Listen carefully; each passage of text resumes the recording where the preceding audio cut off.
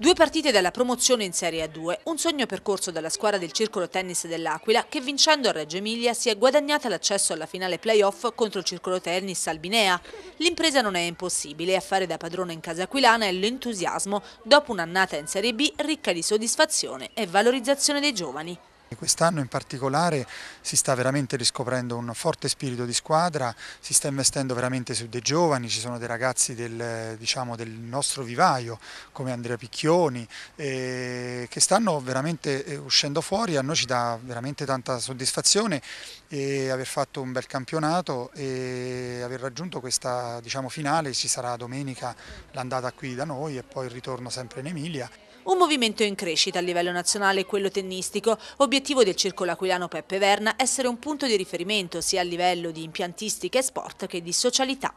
La cosa importante è far sì che sia l'esempio e il coagulo per tutti i giovani e anche non giovani per riavvicinarsi allo sport. Ieri a Reggio c'erano veramente centinaia e centinaia di persone a tifare in un circolo molto importante dell'Emilia e qui vorremmo, e come già è avvenuto in altre domeniche, ritrovare domenica un pubblico eh, che eh, appoggia la squadra e che si avvicina proprio a questo modo di socialità.